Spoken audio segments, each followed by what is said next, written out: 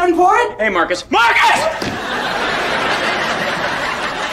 I couldn't find Marcus any. Oh boy.